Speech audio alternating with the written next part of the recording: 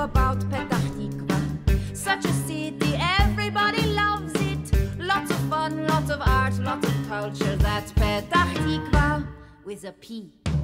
Where you are, this is not Petah Tikva. Such a city, nobody knows it. Not a fun, not a art, not a culture. This is Bet Hatikva with a B. At first, I thought it was going to be a real challenge to write a sort of welcome to our world song about a town where nothing is going on, but it immediately presents comic possibilities. Pick a sand hill of your choosing. Take some bricks that no one's using.